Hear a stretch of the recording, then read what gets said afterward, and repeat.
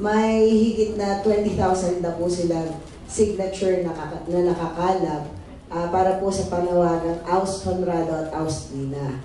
Ano po ba yung pwede niyong magawa rito? Dahil po kanina, inihold po namin kayo sa sinasabi ninyo na dapat tanggalin yung mga ganitong klaseng official. Ano po ba ang magiging tindig na po sa kanila? Sa kanila?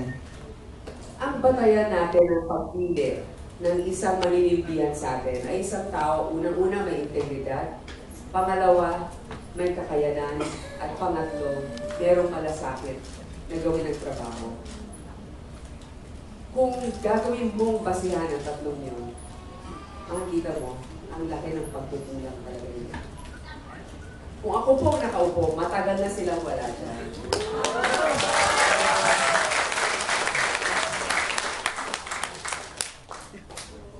Pero ang syempre ang Pangulo ang meron talagang prerogatiba dyan.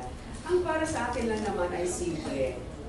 Kung hindi mo nagagawa ang trabaho mo, at isang daang milyon ang ating populasyon, siguro naman merong tutugon dyan na pwede natin bigyan ng pagkakataon na gawin yon.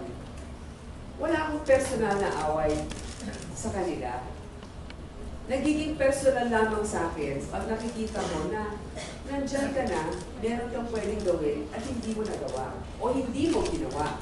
Kaya nga, di ba, si Aling Gloria, tinanong ko, Ma'am, um, isang araw ba kayo nakadetain? Hindi po, dalawa. Doon sa dalawang araw na nakadetain siya, ni hindi man lang tinanong kung kumain na siya.